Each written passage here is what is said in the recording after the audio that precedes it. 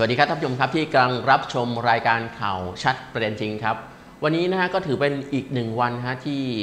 ในส่วนของมีการประท้วงของกลุ่มที่ต่อต้านในส่วนของคอสชรวมไปถึงในเรื่องเหตุด้านการเมืองหลายเหตุการณ์นะครับ แต่ข่าวแรกที่เราจะไปคุยถึงก็คือกรณีที่ตำรวจสพสามพานเองเนี่ยไปลุมกระทืบหนุ่มวัยรุ่น 3 คน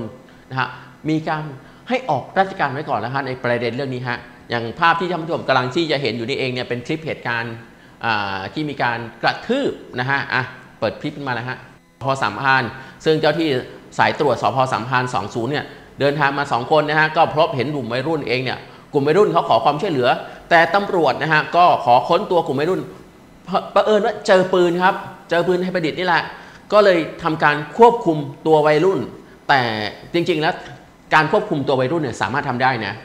แต่เจ้าที่ตำรวจเองเนี่ยปฏิบัติหน้าที่ไม่ค่อยถูกขั้นตอนเท่าไหร่ เพราะว่ามีการกระทืบเตะนะฮะกลุ่มวัยรุ่นนั่นเองครับ เดี๋ยวสักครู่จะคงเห็นภาพเหตุการณ์นะฮะพอมาถึงเสร็จปุ๊บเนี่ยอ่าก็บอกให้นอนลงนอนลงนอนลง แล้วทำการตรวจค้น แต่เจ้าที่เนี่ยใช้เท้าเหยียบหัวเลยฮะแล้วทำการกระทืบเตะ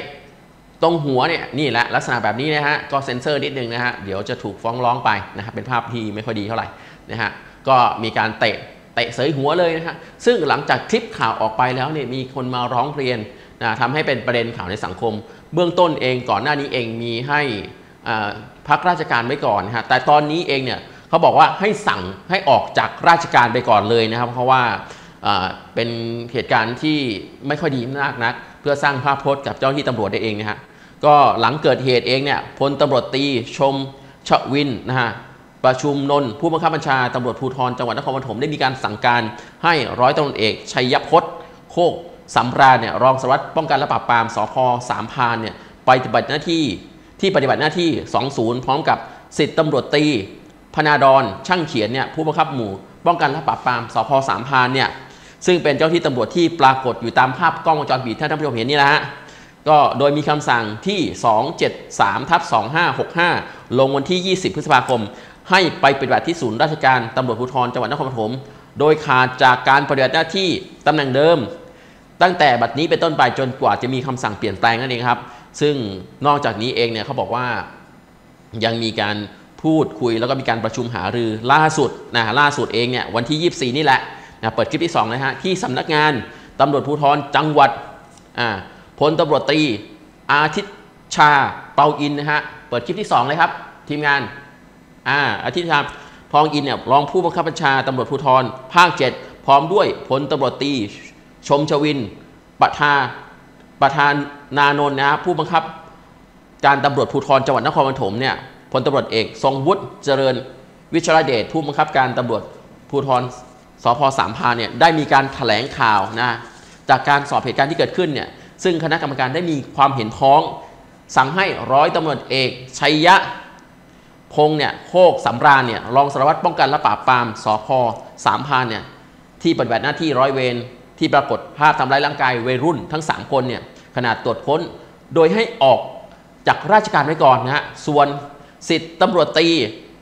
พนาดรช่างเขียนเนี่ยผู้บังคับหมู่ป้องกันและปราบปรามสพสามพรานยังคงคำสั่งเดิมนะฮะเดี๋ยวเราไปฟังคำชี้แจงของพลตำรวจตี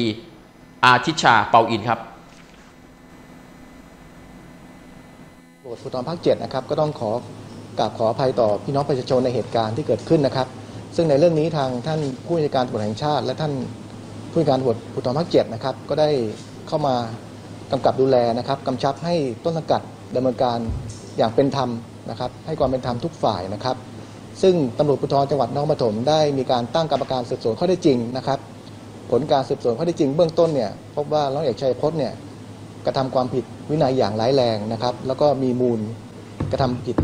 คดีอาญานะครับ ซึ่งมีผู้เสียหายมาแจ้งความร้องทุกข์นะครับ ก็จึงได้มีคำสั่งของตำรวจภูธรจังหวัดนครปฐมตั้งกรรมการสอบสวนวินัยร้ายแรงร้อยเอกชัยพจน์นะครับ และมีคำสั่งให้ร้อยเอกชัยพจน์เนี่ยออกจากราชการไว้ก่อนทั้งนี้ตั้งแต่ 23 พฤษภาคม 65 เป็นต้นไปนะครับรวมทั้งได้ผู้บัญชาได้สั่งการให้ผู้บัญชา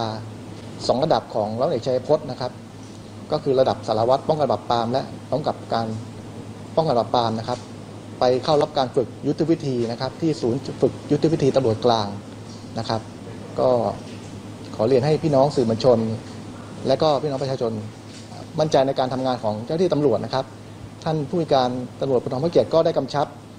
ตำรวจทุกนายในสังกัดตำรวจภูธรภาคเจ็ดนะครับ ให้นำเรื่องนี้เป็นเป็นบทเรียนนะครับ ให้ไปกดขันดูแลผู้แต้มชา ให้ปฏิบัติหน้าที่ด้วยความ ตามกฎหมายนะครับยึดหลักอุดมคติตำรวจนะครับเด็กสามคนตอนนี้เป็นผู้ใหญ่หนึ่งคนนะครับ ตอนนี้เราได้นัดหมายมาสอบสวนเรียบร้อยแล้วนะครับ ส่วนอีกสองท่านเป็นเยาวชนนะครับ ก็คือมีมารดากับผู้ปกครองเนี่ยมาให้ปากคำกับทางพนักงานสอบสวนแล้วนะครับ